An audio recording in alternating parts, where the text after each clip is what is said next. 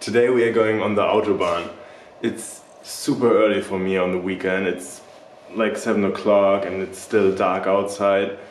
Uh, I would never get up at that time normally, but I really wanted to go on the Autobahn with the Huracan. And yeah, in the morning it's empty and we can see how fast we can go. Um, yeah, let's see how we go.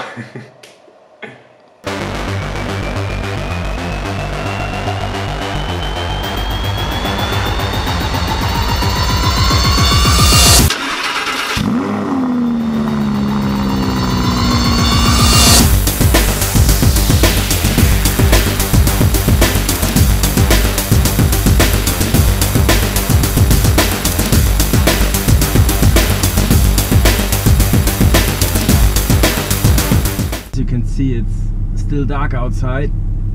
We just crossed the Reeperbahn in Hamburg, but it was empty. It's, it's 8 o'clock in the morning, it's Saturday morning, but people already went home. Um, it's a street in Hamburg where you go party and do stuff.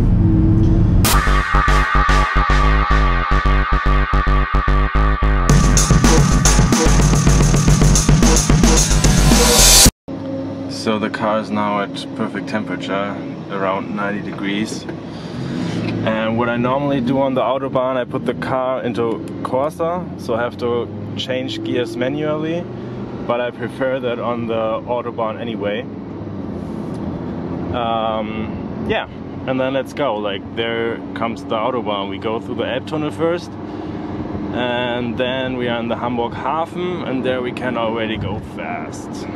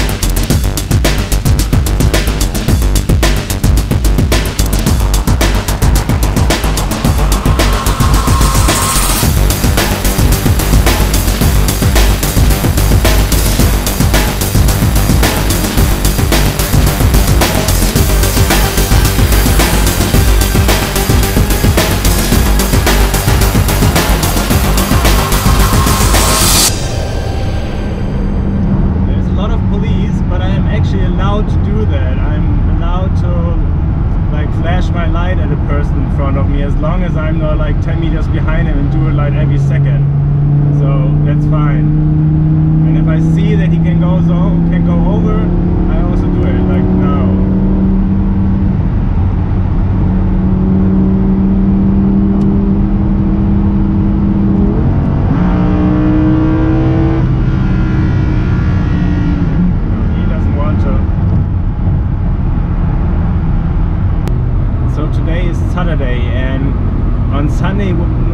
probably be better because trucks were actually not allowed to drive. Um, but yeah, as I'm going somewhere, I couldn't do it tomorrow. But I, we will be fine. It's, it's still pretty early and it's not too full.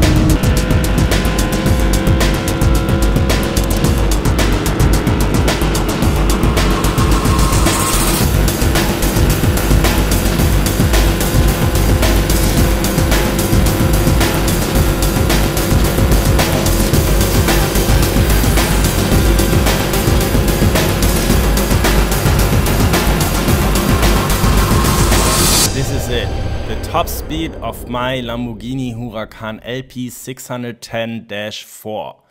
346 km per hour or 215 miles per hour. As you can see the revs are at the limiter and the 7th gear is already the last gear in the Huracan. I couldn't go faster, although I had the feeling that the 610 horsepower of the Huracan could actually reach a higher speed. The acceleration to this top speed was quite insane. I mean, I didn't have to wait for minutes to go there, it just went straight forward. But as the engine is limited to around 8500 RPM and I'm already in the last gear, there's no way to go faster. On another tour on the Autobahn I actually reached the same top speed, 346 km per hour, and it was the same there. I suddenly was in the limiter and the acceleration stopped. And then something really scary happened. The car started to shake at above 300 km per hour. You see it right here. I was still going more than 300 km per hour when it started. And I was just braking a little bit. I've no idea what would have happened if I really had to brake hard. We had 12 degrees Celsius and the streets were dry. I already said that in another video, I don't feel super 100% comfortable in the Huracan when it comes to high speed. And I feel safe in my 911 Targa, although it's not as low and wide as the Huracan. On my way back I was kind of in a similar situation, although I wasn't as fast. I was going around 160 kilometer per because it was raining and then I suddenly had to brake because the car went out. And yeah, as you can see, the car shaked a lot again. I know that these kinds of supercars are sensitive when it comes to rain, but I never experienced it that much. I learned my lesson here with the Huracan.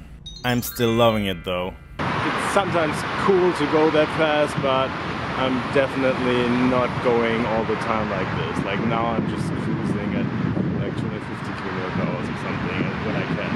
But I mean, it's you have to concentrate and you really it's really exhausting to go that fast. Yeah, um, thanks for watching. Please subscribe um, and see you next time.